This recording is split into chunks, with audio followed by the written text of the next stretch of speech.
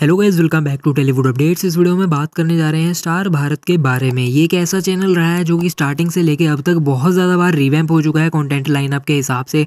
अलग अलग टाइप के जॉनराज इन्होंने ट्राई किए हैं अलग अलग टाइप की स्ट्रेटेजीज सब अपन आ चुके हैं। रोमांटिक शोज़ लेकर आ चुके हैं कॉमेडी शोज़ बनकर भी ट्राई कर लिया। सब कुछ ट्राई करने के बाद भी टीआरपी नहीं आ रही। जब सीरियल लॉन्च हुए थे इसके पहली बार, यानी कि चैनल जब पहली बार आया था, तब सब शोज़ बहुत अच्छा परफॉर्मेंस ला रहे थे। लेकिन फिर आगे चल के शो की सारे ही इनके सीरियल्स की परफॉर्मेंस परफॉर्मेंसेज वगैरह बहुत डाउन होती गई और हमारे इंडिया के सबसे फ्लॉप चैनल्स में से एक बन गया। रिसेंट रिवैम्प हुआ था इस चैनल का जहाँ पर हमें Savdhaan India may I come in madam Saubhagyavati Bhava. तीनों ही आइकॉनिक और पॉपुलर टीवी सीरियल जो हैं, वापस देखने को मिले नए सीजन्स के साथ। और तीनों ही शोज़ काफ़ी ज़्यादा बुरी तरह पिट गए।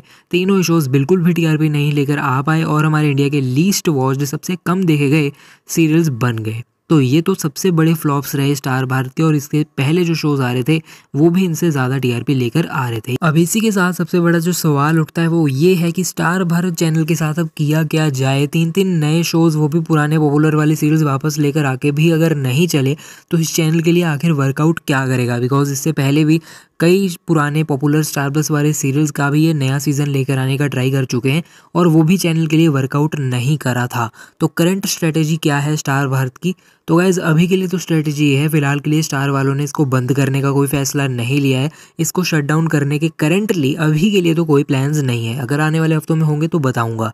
अभी के लिए स्टार भारत की जो मेन स्ट्रेटेजी है, वो यही है कि वो ज़्यादा शोज़ खुद नहीं बना रहे। करेंटली इस मोमेंट पे सिर्फ़ एक शो उन खुद बना रहे हैं, वो है शैतानी रस्में। उसके अलावा एक भी हमें स्टार भारत का कोई नया सीरियल देखने को नहीं मिल रहा है इसलिए बिकॉज़ टीआरपी आ नहीं रही, कहाँ से बजट लेकर आए नए शोज़ प्रोड्यूस करने के?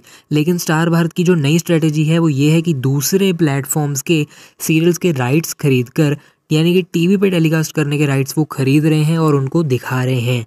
ऐसे सीरियल जो कि या तो ओटीटी पर आ चुके हैं या फिर किसी दूसरे पुराने चैनल पर आ चुके हैं तो उनको वो री टेलीकास्ट करके ही अब अपनी इस नई स्ट्रेटेजी को अपनाने वाले हैं और ट्राई करने वाले हैं कि क्या उनको स्टार उत्सव या फिर सोनी पल जैसे इस टाइप की टीआरपी मिलती है रीजनल एरियाज़ में या फिर नहीं। और अब वो जैसे कि बाघिन सीरियल लेकर आ रहे हैं वो अतरंगी ऐप का सीरियल है ओटीटी का सीरियल है, स्टार भारत वालों का खुद का नहीं है। भगवान परशुराम सीरियल लेकर आ रहे हैं विशाल आदित्य सिंह, जिसमें मेन लीड है। वो सीरियल स्टार भारत का खुद का नहीं है। वो तरंगी टीवी चैनल पर आया करता था और बंद भी हो चुका। उसको रीटेलीकास्ट कर रहे हैं और काफ़ी टाइम पहले से ही ये आशिकाना सीरियल को भी लेकर आए थे, प्राइम टाइम स्लॉट नौ बजे पे, जो कि हॉट स्टार का एक वेब सीरीज़ रहा है, वेब शो रहा है। और वेब शो को टीवी पे बस टेलीकास्ट कर रहे थे। वो तो चलो स्टार के अंडर ही आता है, बिकॉज़ वो हॉट स्टार के अंडर था। तो एनीवेज अब ये है स्टार भारत वालों की मेन स्ट्रेटेजी खुद के सीरियल्स प्रोड्यूस करने नहीं वाले मोस्टली जो नए शोज़ आपको अपकमिंग इसमें देखने को मिलने वाले हैं, वो ऐसे ही होंगे, पुराने एपिसोड्स के रिपीट टेलीकास्ट होंगे, या फिर या फिर कोई ओटीटी शो वगैरह होंगे जो कि टेलीकास्ट कभी टीवी पे नहीं हुए हैं, उनके राइट्स खरीद कर उसको टीवी पे दिखाएँगे। तो इस तरह का चैनल रहने वाला है अपकमिंग स्टार भारत। और अगर इस चीज़ से भी उनको ज़रा भी टीआरपी नहीं मिलती या फिर उतनी ही गंदी टीआरपी मिलती है जितनी कि मेआई कमिन सौभाग्यवती को मिली है तो फिर आगे स्टार वाले डिसीज़न लेंगे कि इस चैनल के साथ करना क्या है। क्या इस चैनल को शट डाउन कर देना है या फिर फिर से रिवैम्प करके नाम वगैरह बदल के इसको एज अ न्यू चैनल लेकर आना है, वो सब अभी के लिए कुछ भी डिसाइड नहीं करा गया है। लेकिन अगर ये स्ट्रेटेजी भी वर्क नहीं करती तो फिर उस पर आगे फर्दर डिसीज़न लिया जाएगा। कमेंट्स में ज़रूर बताइए जो नई स्ट्रेटेजी अपनाई है इन्होंने, ये आपको इंटरेस्टिंग लग रही है या फिर नहीं।